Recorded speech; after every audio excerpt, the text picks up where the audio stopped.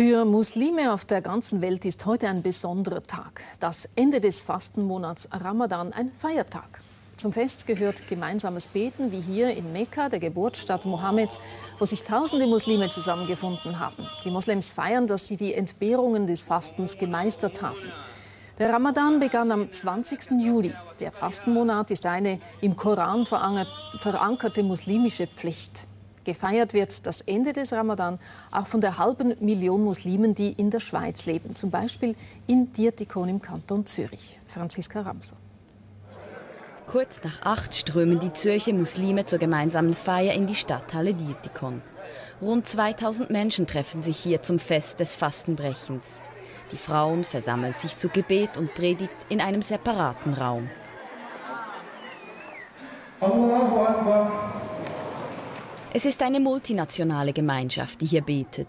Ägypter, Somalier, Pakistani, Tunesier, Muslime aus aller Welt auf engstem Raum. Dann gibt es Süßigkeiten und Kaffee, das erste Frühstück seit Wochen.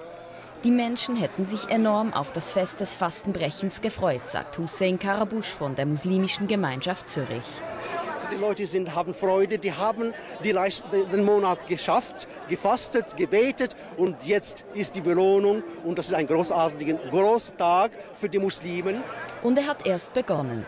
Nach der Zusammenkunft in Dietikon feiern die Menschen zu Hause oder bei Verwandten weiter.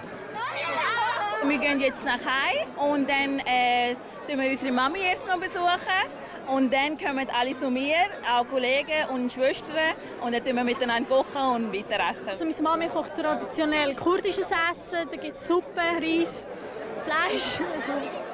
Für muslimische Kinder ist heute sozusagen Weihnachten. Es gibt Geschenke.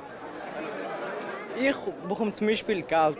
Also, also meine Eltern schenken nur Geld und ja.